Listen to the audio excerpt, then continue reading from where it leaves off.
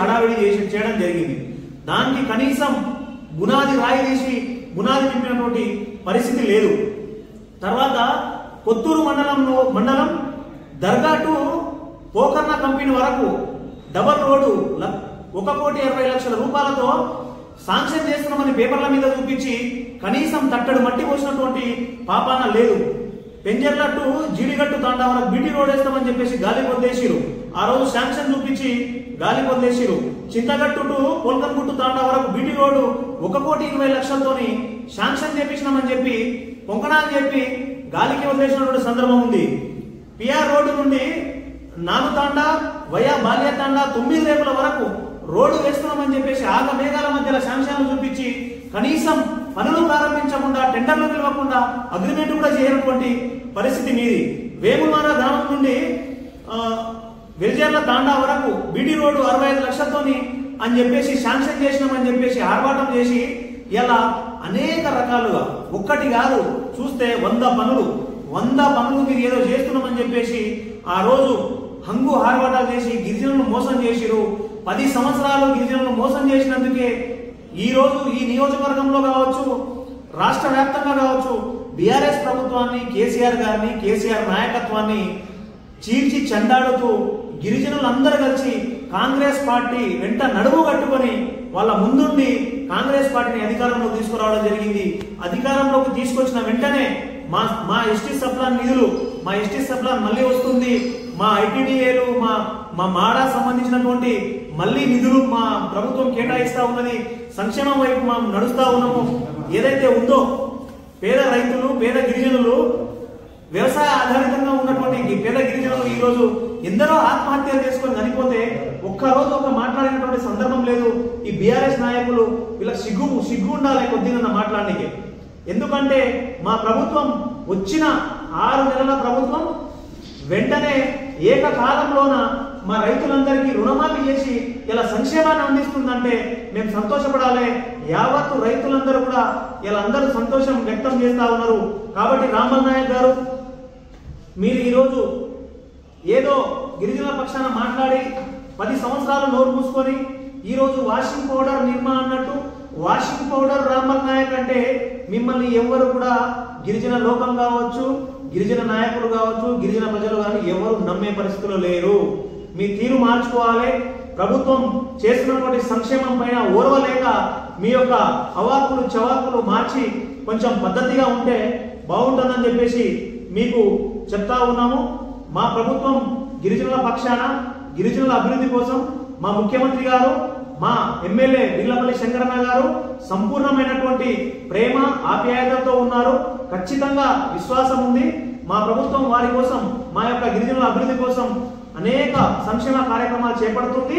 ఖచ్చితంగా భవిష్యత్తు కాలంలో గిరిజనులకు మంచి అభివృద్ధి చేసి ప్రతి తాండాలకు సంక్షేమాన్నిచ్చి ప్రతి తాండాలకు అభివృద్ధినిచ్చి మంచి అభివృద్ధి దశ వైపు తీసుకోపోవడానికి మా ముఖ్యమంత్రి వర్యులు తర్వాత మా ఎమ్మెల్యే గారు పూర్తి మంచి సంపూర్ణమైనటువంటి ఆలోచన విధానంతో ఉన్నారు కాబట్టి చేస్తారనే సంకల్పం ప్రజలకు ఉంది ఖచ్చితంగా చేస్తారని తెలియజేస్తున్నాం. మీ అవాకులు చవాకులు మళ్ళీ మాట్లాడి అవగాహన రాహిత్యంతో ప్రజలను తప్పుదోవ పట్టించడానికి చూస్తే ప్రజలే మీకు బుద్ధి చెప్తారని చెప్పేసి తెలియజేస్తా ఉన్నాం. మూడు నెలలు అంటే నాలుగు నెలలు అయింది. అంటే ఒక ఆడ బిడ్డకు పదివేలు రావాలి మాకు. పదివేలు రావాలి. పదివేలు ఎవరు వాళ్ళకి వివరించమని ఈరోజు ప్రెస్ మీట్ ముఖ్య ఉద్దేశం ఏంటంటే నిన్న కాంగ్రెస్ పార్టీ గిరిజన నాయకుడు సీను నాయక్ అని రాంబల్ నాయక్ గారు బడ్జెట్ విషయంలో ఐటీడీ దాని మాట్లాడారు. ఆ విషయంలో శ్రీను నాయక్ గత ప్రభుత్వం ఏం చేసింది మరి Rambal Nayak SC ST commission ఉండి మరి గిరిజనులకు చేసింది ఏం లేదన్నట్టు ఖండించడం జరిగింది. దాని విషయంలో నేను చెప్తా ఉన్నాను ఈరోజు తెలంగాణ రాష్ట్రం ఏర్పడిన తర్వాత మరి గిరిజనులకు పెద్దపీట చేసినటువంటి అటువంటి ఘనత కేసీఆర్. ఏంటంటే తాండాలను ప్రత్యేక గ్రామ పంచాయతీ చేయడం అదేవిధంగా గ్రామ పంచాయతీ భవనాలు ఏర్పాటు చేయడం. మరి ఇన్ని రోజులు మా తాండా నాయకులు ఉమ్మడి గ్రామ పంచాయతీలో మూడు కిలోమీటర్లు లేదా నాలుగు కిలోమీటర్ల దూరం నడుచుకుంటూ పోయి గ్రామ పంచాయతీలో అవస్థలు చెప్పుకోవాలంటే చాలా దూరంలో ఉన్నటువంటి గ్రామ పంచాయతీలను మరి గౌరవనీయులు మాజీ ముఖ్యమంత్రి వర్యులు మా ప్రత్యేక గ్రామ పంచాయతీ చేయడము ఘనత కేసీఆర్కి దక్కుతుంది. మరి ఈరోజు నేను శ్రీనివాస్ నాయక్కు నేను సవాల్ విసురుతా ఉన్నా. తెలంగాణ రాష్ట్రం ఏర్పడిన తర్వాత పెద్దపీట గిరిజనులకు ముందంజలో నడిపించినటువంటి ఘనత కేసీఆర్. మరి ఆయన ఆయన కూడా గిరిజన నాయకుడే. ఆయన తెలుసుకొని మాట్లాడాలి. షాద్ నగర్లో ఒక ఎకరం పొలం ఇచ్చి మరి గిరిజన భవనం ఏర్పాటు చేసుకోవడానికి మరి రెండు కోట్ల రూపాయలు శాంక్షన్ చెప్పినటువంటి ఘనత మరి మా మాజీ శాసనసభ్యులు అంజయ్య సార్ సార్ గారు. మరి అదేవిధంగా గిరిజనులు ఏం ఏ విషయంలో ముందుకు లేదు? అసలు ఏది కాలేదని ఏ విధంగా మాట్లాడినావు? అసలు నువ్వు సోయి ఉండి మాట్లాడుతున్నావా? సోయి లేకుండా మాట్లాడుతున్నావా? ఈరోజు ఏదో అధికారం ముందర పెట్టుకొని ఇష్టం వచ్చినట్టు మాట్లాడితే ఊరుకునేది లేదు. అదేవిధంగా తాండాల్ పంచాయతీలు కాకముందు మా గిరిజన మరి ఆడ ఆడపరుషులందరూ మూడు మూడు కిలోమీటర్ల లోపు పోయి బా బావుల నుంచి నీళ్ళు రావడం జరిగింది. అలాంటి విషయంలో మరి కేసీఆర్ ముఖ్యమంత్రి అయిన తర్వాత మిషన్ భగీరథ వాటర్ తీసుకొచ్చి ప్రతి ఒక్క ఇంటికి నీళ్ళు ఇవ్వడం ఈ ఘనత కూడా కేసీఆర్కి దక్కుతా ఉంది. ఇప్పుడు తర్వాత పది శాతం రిజర్వేషన్ కూడా పది శాతం రిజర్వేషన్ కూడా మరి గిరిజనులకు చేయడము మరి మాజీ ముఖ్యమంత్రి వర్యుడు గారికి మరి కేసీఆర్ గారికి దక్తం ఉంది. ఇవన్నీ తెలుసుకోకుండా ఇవన్నీ ముందర పెట్టుకొని అన్ని అభివృద్ధి పనులు చూసుకుంటూ మరి ప్రతి తాండాకు వీటి రోడ్లు ప్రతి తాండాకు మన అండర్ డ్రైనేజ్లు సీసీ రోడ్లు ఇప్పుడు రమ్మనండి. కళ్ళు కనిపించకపోతే మేము చూపిస్తాం. రమ్మనండి. ప్రతి ఒక్క తాండాలో సీసీ రోడ్లు కానీ అండర్ డ్రైనేజ్లు కానీ ప్రతి ఒక్కటి మేము చూపిస్తాం. అలా కళ్ళకు కనిపించకుండా. అభివృద్ధి ఏం జరిగిందో మేము అలా ఏ తాండకు రమ్మనాలో ఆ తాండకు రమ్మనండి మేము కూడా సిద్ధంగా ఉన్నాం చూపిస్తాం. కాబట్టి ఈ వేదిక ద్వారా శ్రీను నాయక్ గారికి హెచ్చరిస్తా ఉన్నాం. మరి మీరు రామల్ నాయక్ గురించి కానీ గత ప్రభుత్వం గురించి మీరు విమ- విమర్శించే హక్కు మీకు లేదు. ఆ స్థాయి కూడా మీది కాదు మీరు చూసుకోవాల్సిన అవసరం ఉంది. అదేవిధంగా తెలంగాణ రాష్ట్రం ఏర్పడిన తర్వాత మరి కేసీఆర్ గారు కరడలక్ష్మి కానీ రైతు బంధు కానీ రైతు బీమా కానీ ప్రతి ఒక్క కార్యక్రమాలు మరి ఇంటికి చేరిన చేరే విధంగా మరి కేసీఆర్ కొన్ని కార్యక్రమాలు చేయడం జరిగింది.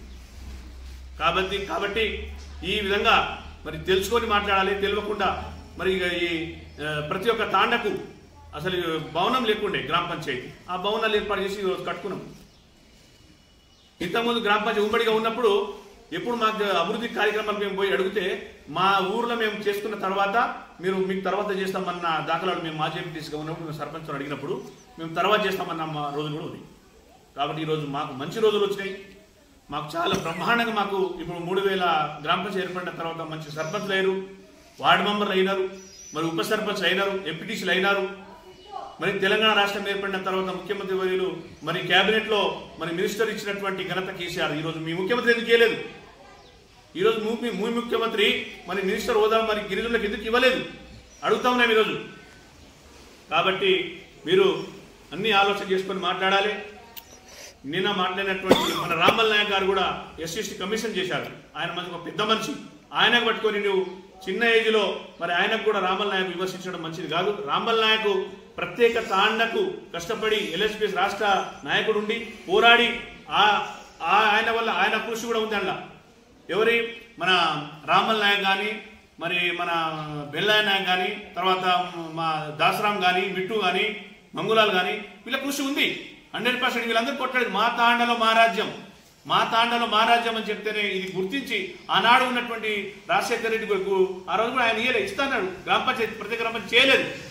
ఈరోజు తర్వాత తెలంగాణ ఏర్పడిన తర్వాత మరి తెలంగాణ ఏర్పడిన తర్వాత ఎంబడే గ్రామ పంచాయతీలు మరి గుర్తించి తాండలం గ్రామ పంచాయతీ చేసినటువంటి ఘనత కేసీఆర్ దక్కుతుంది కాబట్టి మేమందరం గ్రామ పంచాయతీలో మంచి పాలన జరుగుతూ ఉంది. మరి లైట్లు కానీ శిశు రోడ్లు కానీ అండర్ డ్రైనేజ్లు కానీ మంచి అభివృద్ధి పనులు నడుచుకుంటా ఉంటే మీరు ఓర్వలేక మీరు ఏ మీరు గెలిచి ఎనిమిది నెలలు అవుతుంది. మీరు ఇచ్చిన ఆరు గ్యారెంటీల హామీ మీద మీరు సోయి పెట్టేది పోయి మరి ఏదో ఏదో విధంగా తప్పు తప్పుదో పబ్లిక్ పట్టిస్తే అది పబ్లిక్ గవర్నమెంట్ లేదు కాబట్టి మీరందరూ ఈ ఈ శ్రీను నాయక్ మాట్లాడిన దానికి మేము తీవ్రంగా ఖండిస్తా ఉన్నాం. మళ్ళా తెలుసుకొని మాట్లాడి మరి తాండలో ఎక్కడ అభివృద్ధి జరగలేదో మేము హండ్రెడ్ పర్సెంట్ చూపేది అడుగున్నామని చెప్పి ముగిస్తా ఉన్నా. జై తెలంగాణ. ఈ ఏమైందంటే ఒక పెద్ద మనిషిని ఎస్టీసీఎల్ చేసిన పెద్ద మనిషిని బట్టి విమర్శిస్తే నాకేదో పేరు వస్తుందని ఒక ఇంకిత భావంతో ప్రశ్నిస్తుంది తప్ప అభివృద్ధి పరంగా పోటీ పడాల్సిందే పోటీ పడాలి కాంగ్రెస్ ప్రభుత్వం కానీ ఇదేంది? విమర్శించి మేమేదో గొప్పగా కావాలి కాంగ్రెస్ పార్టీలో ఉన్నాం మేము ఒక నాయకులం అని చూపించుకోవడానికి నా ఇవన్నీ? విమర్శించడం కాదు పని చేసి చా- చాతన అయితే పని చేసి చూపించండి ప్రభుత్వంలో మీరున్నారు మేము కాదు. మేము ఉన్నప్పుడు తండలల్లా ప్రతి తాండకి గ్రామ పంచ ప్రతి గ్రామ పంచాయతీలో పోయి నువ్వు అడుగు. బస్సులు వస్తుండే ఇలా తాగునీటి సదుపాయం ఉంటుండే. ఇలా ఏంది పరిస్థితి? ఒక ఒక రోడ్డు నుంచి వ్యవస్థ ఇప్పుడు వర్షాలు పడి రోడ్ అంతా అవస్థ వ్యవస్థగా ఉన్నది. అవిట్లల్లో పోటీ పడాలి కానీ విమర్శించడంలో పోటీ పడడం ఏంది? అంటే మేము ఏమైనా విమర్శించలేము అనుకుంటున్నామా? ప్రతిపక్షంలో ఉన్నామని కాదు ప్ర- ప్రతి పరంగా మేము విమర్శించగలుగుతాం.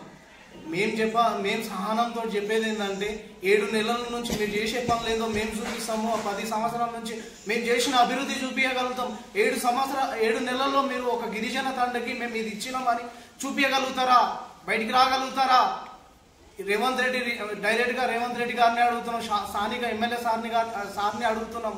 మీకు ఒక తండకి మేము ఒక ఆరోగ్యశ్రీ కిట్ ఇచ్చినాము. ఏదైనా ఈ ఈ ఊరికి ఇది ఇది సదుపాయం కలిగి ఇచ్చినాము అని చెప్పగలుగుతావా సీనునే? చెప్పగలుగుతావా ఏడు నెలల్లో ఏం జరిగిందో అభివృద్ధి? ఏడు నెలల సమయం అంటే చిన్న విషయం కాదు. ఓ తండలకు ఊర్లలకు బస్సులు అసలు ఇలా విద్యార్థి విద్యార్థులు కాలేజీలలో వెళ్ళే పిల్లలు పిల్లలు ఏంది పరిస్థితి వాళ్ళది? అది మేము నిరూపించగలుగుతాం. నువ్వు నిరూపించగలుగుతావా? విమర్శించడం మాత్రమే వ్యక్తిగతంగా విమర్శించడము మేమేదో హైప్ కావడం అనుకోవడం నీ మూర్ఖత్వం. అలాంటి పని బంద్ చేసుకుంటామని మేము అనుకుంటున్నాము. పెద్ద మనిషి ఎస్టీసీఆర్ ప్రెసిడెంట్ చేసిండు. కాబట్టి కొద్దిగా గౌరవం అనేది ఉండాలి. సరే నువ్వు ఎదుగుతున్నావు లీడర్గా ఉండు. ఎవడేం వద్దంటలే నేను అట్లాంటి విషయాలలో మేము వ్యక్తిగతంగా నిన్ను విమర్శించడానికి ప్రెస్ మీట్ పెడతలే. అభివృద్ధిలో పోటీవాడు మేము సిద్ధం ఉంటాం దానికి నిరూపించడానికి. గతంలో చూడండి అంజయ్ అంజయ్ యాదవ్ సార్ ఏమేం చేసిన పనులు? అవి చూసుకో కొద్దిగా. ఏ తండకి ఏ ఊర్లో పోయినా అంజయ్ యాదవ్ గారి పేరు ఉంటుంది అక్కడ. ఇలా నువ్వు ఇదే ఏడు నెలల్లో మీరేం చేసినో చూపియండి. మేము కూడా దానికి చెప్పగలుగుతాం ఆన్సర్ ఏదన్నా సరే ఇలాంటివి చేయడం తప్పు. కరెక్ట్ కాదు. ఒక పెద్ద మనిషిని విమర్శించడం. వ్యక్తిగతంగా బెదిరిస్తాము వ్యక్తిగతంగా కేసులు పెడతాము. మేము ప్రభుత్వంలో ఉన్నామనే ఒక విషయం పెట్టుకొని మమ్మల్ని వ్యక్తిగతంగా దాడులు చేస్తామని బెదిరియడము అలాంటివి వీలైనంత వరకు తగ్గించుకోండి. ఎవ్వరు కేసులకు భయపడతలేము. ఎన్నైనా కేసులు పెట్టండి. వ్యతిరేక వ్యతిరేక వ్యక్తిగతంగా బెదిరిస్తాము మాట్లాడతాము అంటే వ్యతిరేక వ్యక్తిగతంగానే వస్తాము. మేమేం భయపడి మీతోటి మేము దాచుకోవడం లేదు. విమర్శకు విమర్శనే ఉంటుంది. దెబ్బకు దెబ్బనే ఉంటుంది. దాంట్లో ఎట్లాంటి ఆలోచన లేదు. గిరిజనులము కొట్లాడే తత్వం ఉన్నది. భయపడే తత్వం అయితే అసలు గిరిజనుల్లోకి లేదు. అది ఈనాడు లేదు ఆనాడు లేదు. తెలంగాణ ఉద్యమంలో కూడా గిరిజనులు చాలా వరకు పాల్గొన్నారు. రాంపాలన్న దాంట్లోకెళ్ళి వచ్చిన క్యాండిడేటే. భయపడి విమర్శించకుండా అట్లాంటి దాంట్లోకి రాంపాలన్న వాడు ఈ యువ సైన్యం పోదు. ఆ విషయం మాత్రం గుర్తుపెట్టుకోండి. మేము అట్లానే కేసులు పెడతామంటే పెట్టుకోండి. మీకు వీలైనందని కేసులు పెట్టుకోండి. అభివృద్ధిలో వస్తే దానికి సమ్మతిస్తాం. మీరు అట్లనే కేసుల పరంగా వస్తే మేము ఇట్లనే పోరాడతాం. జై తెలంగాణ. మిత్రుడు సోదరుడు సీను నాయక్ కాంగ్రెస్ పార్టీ నాయకుడు మాట్లాడినటువంటి మాటలు ఏంటంటే అది కొంచెం చాలా ఇబ్బందికరమైన మాటలు. ఎందుకంటే మేము ఒకటే అనదలుచుకుంటున్నాము. ఏంటంటే ఢిల్లీకి రాజైన తల్లికి కొడుకే లూకిటంగా ఇదే ఎల్హెచ్పిఎస్ సంఘాలల్లో గిరిజన సంఘాలల్లో తిరిగే ఈరోజు కాంగ్రెస్ పార్టీలో నాయకునిగా చలామణి అవుతున్నారు. ఎందుకంటే ఎంత ఎత్తు ఎదిగిన విధంగా తల్లి కొడుకులే ఉంటారు. ఎందుకంటే ఆనాడు ఎల్హెచ్పిఎస్ ఎల్హెచ్పిఎస్ ఉద్యమాలలో ఇక్కడ మన శాసనర్ ప్రాంతంలో చూసుకుంటే మిట్టు నాయక్ అన్న గారు కానీ రాంబాల్ నాయక్ గారు కానీ మంగులాల్ నాయక్ గారు కానీ చాలా క్లియసిక్గా పాత్ర పోషించినారు.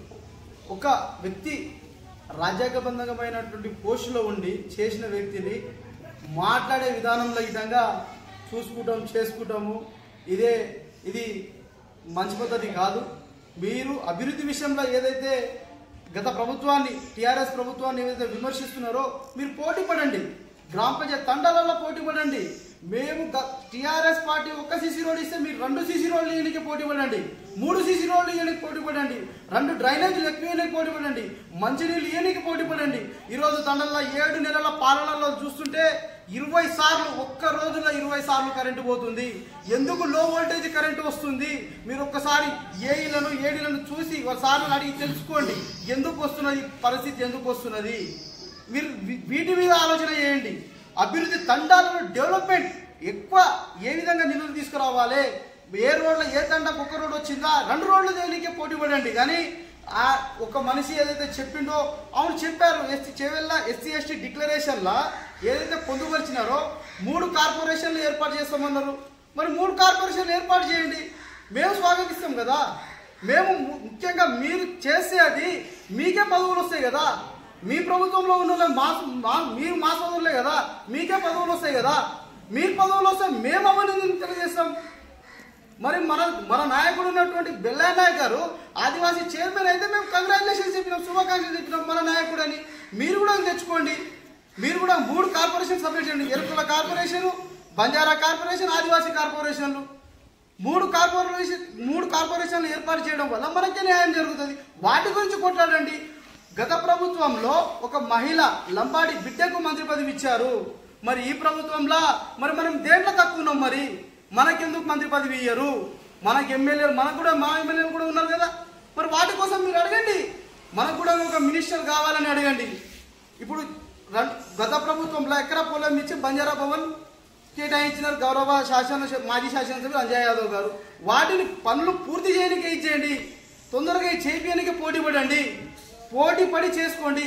దానికి వెళ్ళిన కానీ దానికి దానికి పక్కన ఈ అభివృద్ధి కార్యక్రమం పక్కన పెట్టేసి కా కేవలం అవాకులు చవాకులు పేలుస్తాము మేము దీని ద్వారానే ఇది చేస్తామంటే ఇది మంచి పద్ధతి కాదు. దీంతో సమాప్తం చేసి దీన్ని మానుకోవాలని మేము హెచ్చరిస్తాము. మేకగూడ యూత్ కమిటీ అధ్యక్షుడిని. నిన్న కాంగ్రెస్ పార్టీ నాయకులు ప్రెస్ మీట్ పెట్టి మా రాంబల్ నాయక్ ఉద్యమకారులు రాంబల్ నాయక్ బడ్జెట్ విషయంలో ఇది సరైనది కాదని ప్రెస్ మీట్ పెడితే దానికి ఆ ఏజెంట్ గౌరవం ఇవ్వకుండా ఇష్టం వచ్చినట్టు అబద్ధాల మాటలు నవరాత్రి ఇలాంటి మానుకో ఇలాంటి మాటలు చెప్పడం సరైనది కాదు. కాంగ్రెస్ ప్రభుత్వంలో గిరిజనులు ఎంత అవస్థలు పడ్డారో ఎంత అన్యాయానికి పాల్పడ్డారో అందరికీ తెలుసు. గతంలో నీళ్ళు లేకపోతే ఓ బావిల కాడికి పోయి నీళ్ళు తీసుకొని వచ్చేవాళ్ళం రెండు మూడు కిలోమీటర్లు తిరిగి నీళ్ళు తీసుకొని వచ్చేవాళ్ళం. అలాంటిది ఇప్పుడు ఏ మారుమూల రెండు ఏ మారుమూల తండాలో పది ఇళ్ళు ఉన్నా ఆ మారుమూల తండానికి మిషన్ భగీరథ ద్వారా నీళ్ళు ఇచ్చిన ఘనత కేసీఆర్. గిరిజనులకు కోడిగుడ్లు పంపిణీ చేయాలని కాంగ్రెస్ నాయకులు నడిగితే కాల్చి చంపిన ఘనత కాంగ్రెస్ పార్టీ. గిరిజనులకు కోడి భూములు పట్టా పంపిణీ ఇచ్చింది ఘనత కేసీఆర్. కేసీఆర్ పది శాతం రిజర్వేషన్ గిరిజనులకు ఇచ్చింది. కేసీఆర్ బంజారా హిల్స్లో మా బంజారా హిల్స్ అని అక్కడ పేరు పెట్టుకొని అక్కడ మేము నివసించే వాళ్ళం గతంలో. అక్కడ కాంగ్రెస్ పార్టీ అరవై సంవత్సరాలు పరిపాలించి అక్కడ మా బంజారాలకు గుర్తించలేకపోయింది. అదే మా కేసీఆర్ అధికారంలోకి వచ్చినాక కేసీఆర్ ప్రభుత్వం అధికారంలోకి వచ్చినాక బంజారా భవన్లో బంజారా భవనం నిర్- నిర్మించి అక్కడ మా బంజారాల సంస్కృతి సంప్రదాయాలు ఏమేమి ఉంటాయో ఆ పత్రాలని ఏర్పాటు చేసిన ఘనత కేసీఆర్ మీరు ఏం చేశారని మాకు నిన్న తీసే హక్కు మీకు లేదు. మీరు మీ అభివృద్ధి ఏందో చూపించండి. మీరు ఇప్పుడు మేము అభివృద్ధి చేయలేదంటున్నారు కదా మాకన్నా ముందు అరవై సంవత్సరాలు మీరే అధికారంలో ఉన్నారు. మళ్ళీ మీరెందుకు అధిక అభివృద్ధి చేయలేకపోయారు? అంటే మీరు అప్పుడు చేయలేదనే కదా అర్థం? మీరు అప్పుడు చేయలేదు మేము మేము వచ్చినాక మేము అభివృద్ధి చేశాము. చేసిన దాని మీద కూడా మీరు ఇప్పుడు అభివృద్ధి చేయనికే చేతగాక ఇప్పుడు మాకు విమర్శిస్తున్నారు. మ్యాటర్ డివైడ్ చేస్తున్నారు. అభివృద్ధి మీద మాట్లాడతలేదు.